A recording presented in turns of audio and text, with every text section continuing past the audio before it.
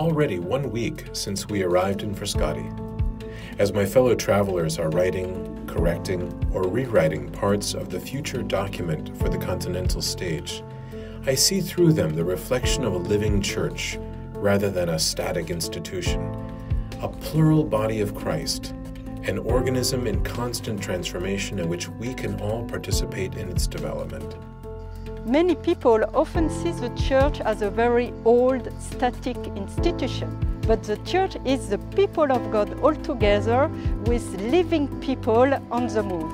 Dalle sintesi del, arrivate dalle chiese locali si percepisce una messa in moto di qualcosa di veramente straordinario. Sinodo vuol dire cammino e le chiese locali si sono messe in cammino, si sono ritrovate ci si è messi in ascolto, si è sperimentato la gioia, si sono viste le difficoltà che ci sono e ci si è messi in rapporto le une con le altre le diverse chiese, cioè si è respirato universalità.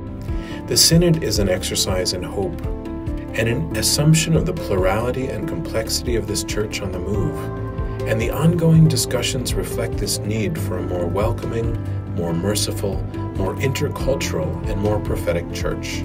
And we see the people really walking in this dynamic uh, vision and experiences a process that is changing the church, a process that is changing also the people through this mutual listening, that is a listening of the Holy Spirit.